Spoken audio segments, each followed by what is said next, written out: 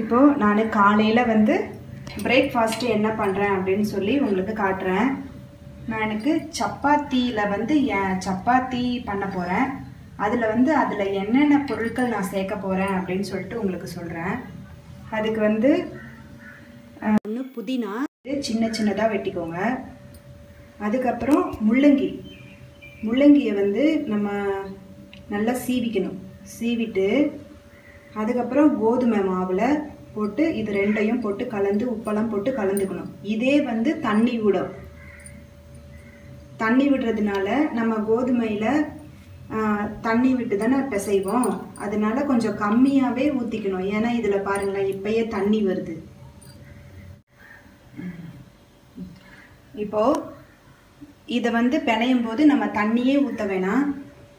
First நல்லா ஊற்றி பிணைஞ்சிட்டு பத்தலைனா மட்டும் நீங்கள் தண்ணி ஊற்றிக்கோங்க இல்லைன்னா ரொம்ப தண்ணி வந்துடும் நம்ம வந்து சுடுறதுக்கு ரொம்ப கஷ்டமாக இருக்கும். இதில் வந்து நான் ஆல்ரெடி பிணைஞ்சி வச்சுருக்கேன்.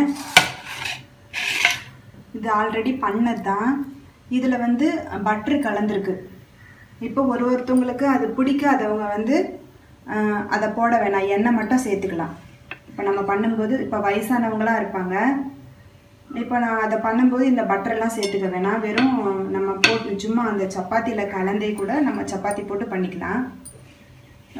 இந்த புதினாவில் அப்படின்னா இந்த இந்த புதினாவில் ரத்தத்தை சுத்தம் பண்ணுறது அதுக்கப்புறம் உடலை வந்து நல்லா ஆக்டிவாக வச்சுக்கிறதுக்கு இது எல்லாத்துக்குமே இந்த புதினா யூஸ் ஆகும். அதனால நம்ம காலையில் சப்பாத்தியில் கலந்துக்கலாம் சட்னி கூட பண்ணிக்கலாம். அதனால் நான் இதை கே இதை கலந்துருக்கேன். இது வந்து சுகர் பேஷண்ட்டுக்கு எல்லாத்துக்குமே இந்த வந்து இந்த மு- இந்த முள்ளங்கி வந்து யூஸ் ஆகும். இதையும் கலந்துருக்கேன். இது கலந்து இந்த ஊருக்கு பாருங்களேன் எப்படி இருக்குன்னு. இது இப்போ நான் சப்பாத்தி போட்டு இதில் உருண்டை பிடிச்சி சப்பாத்தி போட்டு காட்டுறேன். இப்போ நான் எண்ணெய் ஊற்றி போட்டிருக்கேன். நீங்கள் வந்து எண்ணெய் ஊற்றி பண்ண வேணாம். இது வந்து சின்ன குழந்தைங்களுக்குனா பரவாயில்ல. கொஞ்சம் வயசானவங்கன்னா அதை எண்ணெய் ஊற்றி பண்ண தேவையில்ல. இப்படியே கூட பண்ணிடலாம் நான் எண்ணெய் ஊற்றிருக்கேன் உங்களுக்கு எண்ணெய் வேணாம் அப்படின்னா நீங்கள் பண்ண வேணாம். பாருங்க. இந்த மாதிரி தான் வரும். இதில் வந்து இது கரெக்டான ஷேப்பில் வரலை. ஏன்னா நம்ம வந்து அதில் முள்ளங்கி புதினா இதெல்லாம் போட்டிருக்கிறதுனால கொஞ்சம் லேசாக தண்ணி விட்டுருக்குது. தண்ணி விடும். நீங்கள் பண்ணும்போது கொஞ்சம் அதை பார்த்து நீங்கள் பண்ணணும்.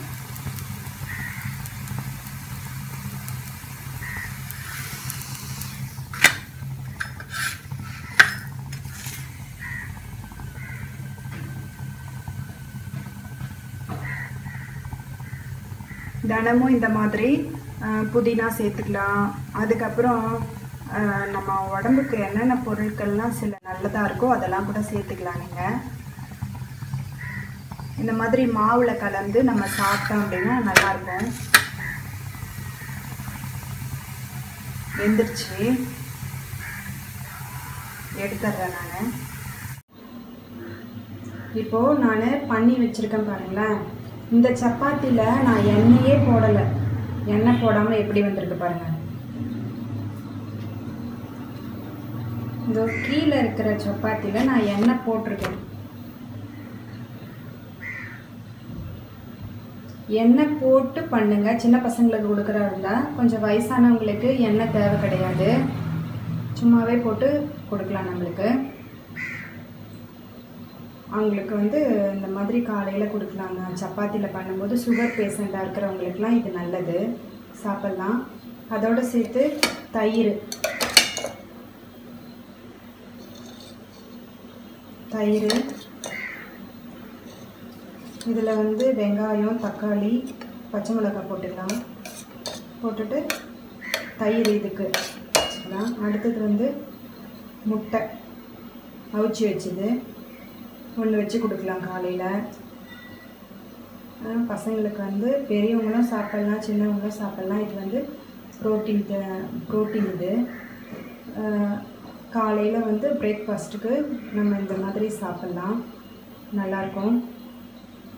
இந்த மெத்தடில் செஞ்சு பாருங்கள் உங்களுக்கு இந்த வீடியோ பிடிச்சிருந்துச்சுன்னா லைக் பண்ணுங்கள் சப்ஸ்கிரைப் பண்ணுங்கள் கமெண்ட் பண்ணுங்கள்